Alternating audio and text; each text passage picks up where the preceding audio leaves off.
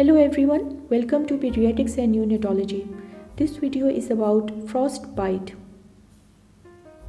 Frostbite occurs when tissues freeze at sub-zero temperature.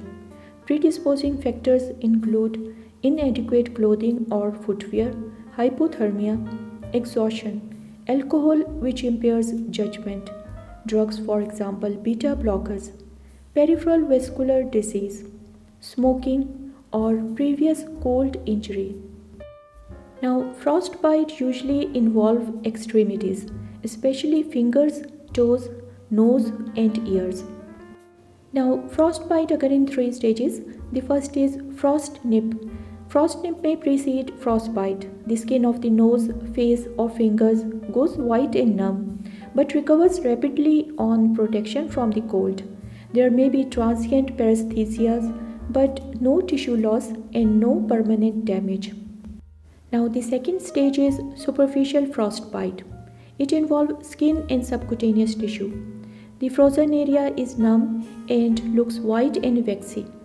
Tissue feels firm or hard but are still pliable. Rewarming is painful. Edematous hyperemic skin become mottled or purple with serum-filled blisters. A hard black eschar forms and after 83 weeks this separates, revealing sensitive red shiny skin. Third stage is deep frostbite.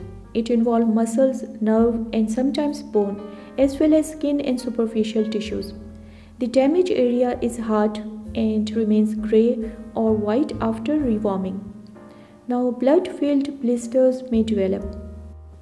Now the dead tissues mummifies and separates after several weeks or months.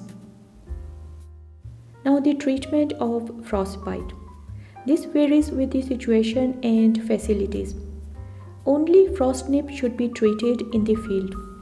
Frostbitten tissue need rewarming as soon as possible, but further damage must be avoided.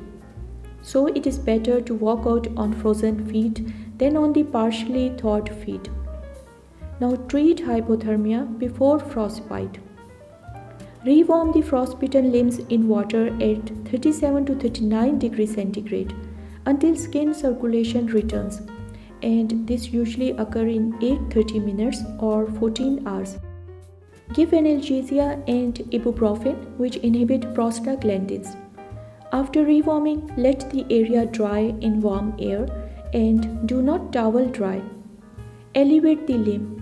Expose the area with a bed cradle to avoid pressure of the bed clothes. Clean the area daily in a whirlpool bath and encourage movement. If necessary, split eschar to relieve stiffness. Now avoid surgical debridement and amputation.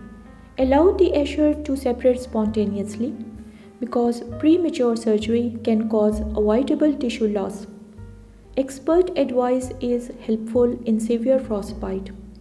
Bone scan or MRI or MRA may help to define deep tissue injury. In severe frostbite, Early thrombolysis with tissue plasminogen activator may reduce the risk of eventual amputation. Now the prevention. Frostbite can be prevented. Here are some tips to help you stay safe and warm. Number 1. Limit time outdoors in cold, wet or windy weather. Number 2. Pay attention to weather forecast and wind chill readings. In very cold, windy weather, exposed skin can develop frostbite in matter of minutes. Then dress in several layers of loose, warm clothing. Air trapped between the layers of clothing act as an insulation against the cold. Then wear windproof and waterproof outer garments to protect against wind, snow and rain. Next, choose undergarments that wick moisture away from the skin. Change out of wet clothing, particularly gloves, hats and socks as soon as possible. Then wear a hat or headband that fully covers the ears. Heavy woolen or windproof materials make the best headwear for the cold protection. Now next tip is wear mittens rather than gloves Mittens provide better protection. Or you can try a thin pair of glove liners which are made of a wicking material such as polypropylene under a pair of heavier gloves or mittens. Next, wear socks and sock liners that fit well, wick moisture and provide insulation. Now consider hand and foot warmer as well. Be sure foot warmers don't make boots too tight, restricting blood flow. Next, watch for the signs of frostbite. Early signs of frostbite include changes in the skin color, prickling, and numbness. Seek warm shelter if you notice signs of frostbite. Then plan to protect yourself. When traveling in cold weather, carry emergency supplies and warm clothing in cases you become stranded. Now, if you will be in remote territory, tell others your route and expected return date.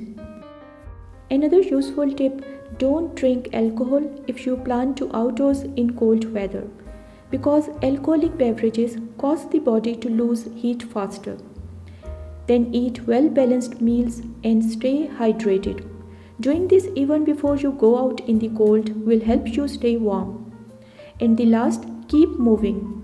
Exercise can get the blood flowing and help you stay warm, but don't do it to the point of exhaustion. Now, a few words about trench foot or immersion foot. It is caused by prolonged immersion in cold water or wet boots at temperature just above freezing.